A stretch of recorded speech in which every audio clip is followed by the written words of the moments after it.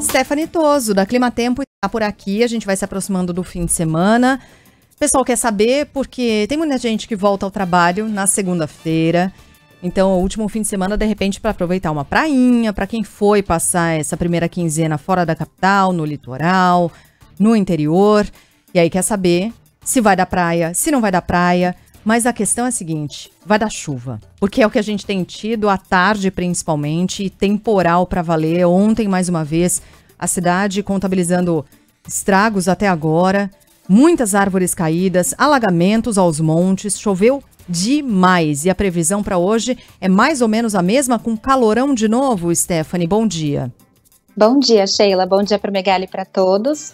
A previsão ainda se mantém sim para essa quinta-feira, então seguimos com muita atenção, mas é uma quinta até diferente em relação a esses últimos dias. Já começamos com instabilidades por algumas cidades do interior, essa chuva vai começar a diminuir até o final da manhã, com isso o sol vai aparecendo, esquenta de novo, seguimos com temperaturas que passam facilmente dos 30 graus por todo o estado de São Paulo. A própria capital começou o dia com bastante variação de nebulosidade.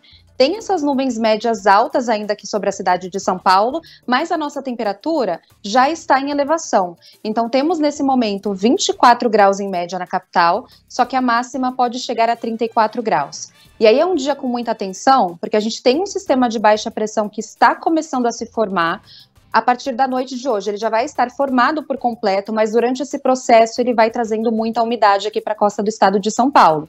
E aí a condição de temporal já é alta para todas as regiões paulistas nessa quinta-feira.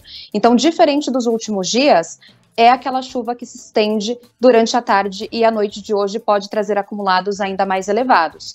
Ontem já tivemos, por muitos bairros aqui da região metropolitana, chuva que passou de 50 milímetros. Então, ainda é uma situação de atenção e de alerta, porque o potencial de transtornos vai se agravando durante a tarde de hoje de novo.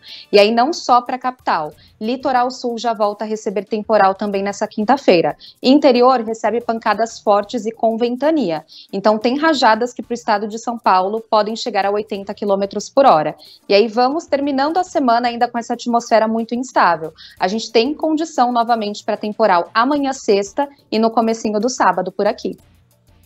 E Laia, fim de semana não vai ser tão aproveitável, mas pelo menos, não todo, né? Mas pelo menos, né, Stephanie, a gente tem um pequeno alívio nas temperaturas. Está muito, muito quente, né?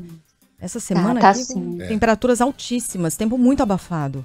Uhum. Ó, para o fim de semana a gente não tem frio, mas aí a nossa máxima já cai para 27 graus. Então tem esse refresquinho, até mesmo para o litoral, que vem de uma semana com essas máximas que estão chegando a 33, 34, a gente já tem um fim de semana com máxima de 30. Então fica bem mais amena a temperatura. Tá bom. Stephanie, a gente vai voltar a conversar logo mais no Band News São Paulo, 10 para as 10 da manhã. Aí a gente detalha um pouco mais essa previsão, atende aqui os nossos ouvintes, as encomendas todas, enfim. Beijo para você, até lá. Um beijo, até lá.